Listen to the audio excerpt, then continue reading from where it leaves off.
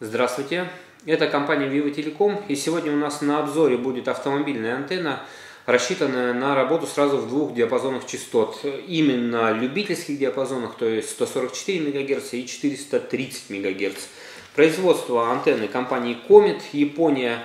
Э, саму страну производства я нигде не вижу, то есть э, либо Тайвань это все-таки как некоторые позиции комит, либо Япония. Если где-то попадется данная информация, я вам озвучу. Длина антенны 49 э, сантиметров, то есть это четверть длины волны в диапазон двухметровый и 5 восьмых да, получается в диапазон 70 э, сантиметров, то есть 430 мегагерц.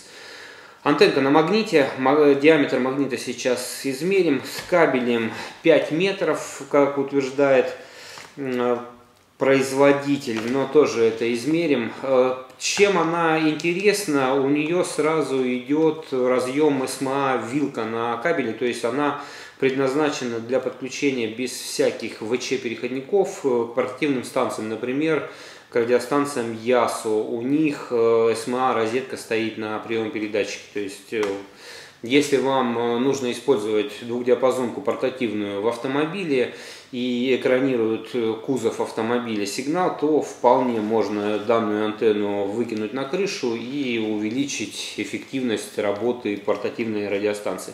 Но давайте тогда начнем с конструкции сначала. Потом Сделаем графики тогда КСВ и в нижнем диапазоне, и в верхнем. Познакомимся с данной антенной. У нас комета не так много продукции на канале, поэтому вот автомобильную антенну тоже проверим. Начинаем. Так, давайте начнем тогда с конструкции и комплектации. Поставляется антенна вот в такой упаковке. Длина кабеля указана 5 метров, как вы видите. На прием производитель, кстати, указывает более широкий диапазон, то есть от 100 до 170, э, до 170 МГц и 350-470. КСВ не более полутора Масса или вес антенны в сборе 445 грамм, 49 сантиметров длина, 50 Ом сопротивления, 80 ватт максимально подводимая мощность и коэффициент усиления в нижнем и верхнем диапазоне. А, так, э, по поводу еще характеристик, тогда здесь вот может быть какие-то дополнительные, но нет, то же самое в принципе указано. Вот диаметр магнита 77 миллиметров, мы сейчас перемерим его. По коннекторам, смотрите, бывает модификация M24B, это с BNC вилкой, M24S это SMA вилка, как у нас на обзоре, и M24SJ это SMA розетка.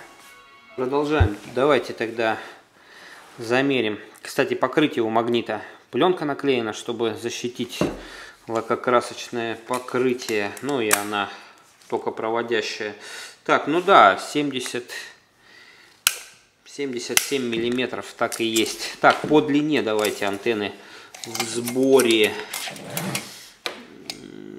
Да, тут если по краю магнита брать, то получается 50 сантиметров примерно. Ну, да, 50-49 сантиметров. Ну, вот 49,3 где-то.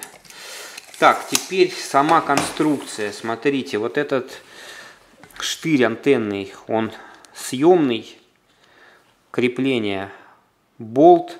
Могли бы они сюда поставить, кстати, резиновый какой-нибудь уплотнитель, потому что все равно э, металл об металл, да, могут быть э, ну, попадание влаги со временем. Может начать это все гнить. Э, Никаких э, шестигранников нет, то есть штырь этот туда плотно вбит или запрессован вот в это основание. Его нельзя снять и нельзя антенну, соответственно, настроить. То есть колпачок верхний, он тоже несъемный. Кабель также сюда жестко запаян.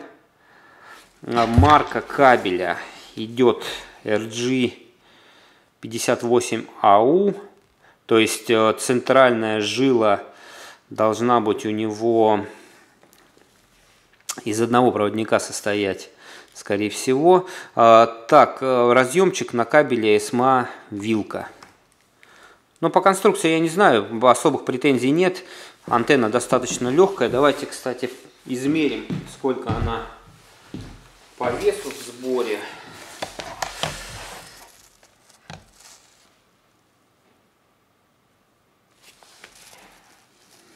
Так, в граммах, да? 450 грамм. По длине кабеля проблем нет, да, 4,80 где-то мы измерили, но тут еще есть небольшие сгибы, поэтому, да, около 5 метров длина есть. Так, смотрите график. Э, это нижний диапазон двухметровый от 135 до 175. Ярко выраженный есть минимальный КСВ, и он ну, как раз, да, на диапазоне 144, 146. Вот где-то здесь у нас, да, минимум 144, 500. Смотрим. 1,9, не 50 Ом сопротивление, 58. То есть отлично, отлично. Для антенны на магните это вообще замечательно. Так, теперь верхний диапазон будем смотреть. Так, верхний диапазон 400-470 весь экран. Тоже есть минимальное КСВ, но, во-первых, оно высоковато по частотам, во-вторых, значение тут, конечно, похуже, чем в нижнем диапазоне. Минимальное где-то на 450 МГц, 1,24 и 43,9 сопротивления. Да, здесь она похуже себя ведет. Так, ну что, давайте заканчивать тогда с обзором антенны Comet M24S. В принципе, никаких проблем мы с ней не обнаружили. В верхнем диапазоне могла бы быть настройка и получше, конечно, но в принципе нормально, особенно для 70-сантиметрового диапазона. И по конструкции влагозащита также могла бы быть и понадежнее. Кстати, модель антенны, скорее всего, не новая, поэтому Напишите в комментариях, может быть, уже есть опыт использования у кого-то, сколько она там, допустим, после года эксплуатации э, остается работоспособной или нет, потому что, ну, как, как она по влагозащите, особенно при каких-то суровых погодных условиях, будет интересно и нам узнать, и, соответственно, зрителям канала тоже. Э, Все, на этом тогда закончим. У кого вопросы есть, задавайте их в комментариях. Кому видео было полезным, ставьте лайк и подписывайтесь на канал. Это Vivo Telecom. Всего вам доброго. До свидания.